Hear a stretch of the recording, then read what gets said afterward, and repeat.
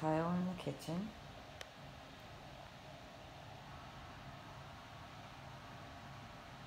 Wood ceiling, nice contrast. Huge refrigerator.